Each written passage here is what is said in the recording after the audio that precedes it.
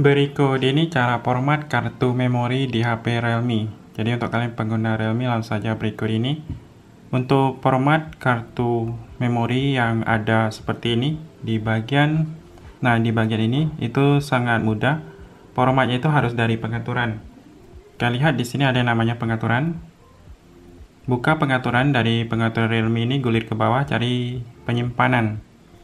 Ini ada penyimpanan, silakan dipilih. Kemudian lihat di bawahnya ada kartu SD. Silakan dipilih kartu SD ini. Nah, di situ kalian langsung bisa melihat ada kapasitas dan ini ada format. Silakan kalian pilih format kartu SD ini.